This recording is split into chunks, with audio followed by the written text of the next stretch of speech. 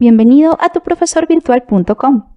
En la lección de hoy aprenderemos cómo determinar el volumen de los sólidos regulares. ¿Cómo se mide el volumen de los sólidos? Veamos. Según su forma, tenemos dos tipos de sólidos. Los sólidos regulares o sólidos con forma geométrica específica y los sólidos irregulares, los cuales no tienen una forma geométrica determinada.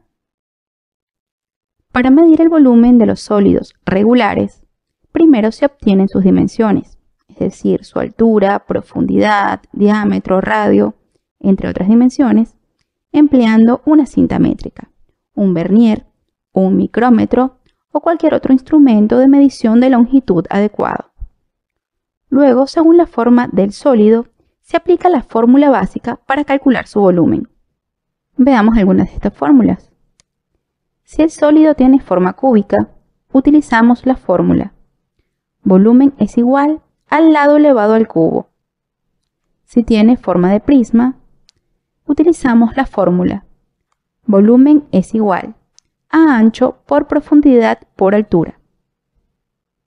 Si el sólido tiene forma cilíndrica, utilizamos la fórmula volumen es igual a pi por radio elevado al cuadrado por altura.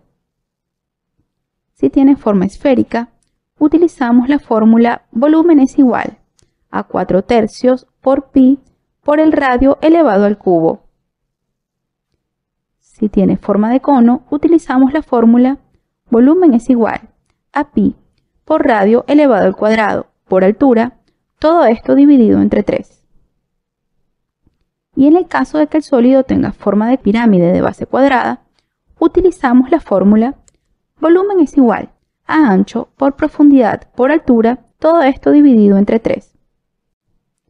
Veamos este ejemplo. Calcular el volumen de la pirámide.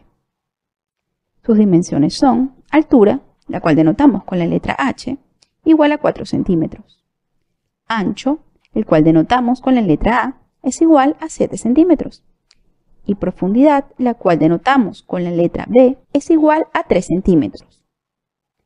La fórmula que corresponde a una pirámide de base cuadrada es volumen es igual a ancho por profundidad por altura, todo esto dividido entre 3. Sustituimos los valores. Volumen es igual a 7 centímetros, que es el ancho, por 3 centímetros, que es la profundidad, por 4 centímetros, que es la altura, y dividimos entre 3. Al hacer el cálculo obtenemos que el volumen de nuestra pirámide es 28 centímetros cúbicos. Veamos el siguiente ejemplo. ¿Cómo calculamos el volumen del siguiente objeto? Como vemos, es una lata. Lo primero que debemos hacer es escoger la fórmula correcta según la forma del objeto. En este caso, una lata tiene forma cilíndrica, por lo que le corresponde la fórmula volumen es igual a pi por radio elevado al cuadrado por altura. Luego sustituimos los valores teniendo en cuenta que pi equivale a 3,14. Volumen va a ser igual a 3,14 por 3 centímetros elevado al cuadrado por 7 centímetros. Si hacemos el cálculo, obtenemos que el volumen de la lata va a ser igual a 197,82 centímetros cúbicos. Hemos llegado al fin de la lección. Te invito a aprender más en las lecciones de ejercicios del tema. Hasta una próxima lección en tuprofesorvirtual.com.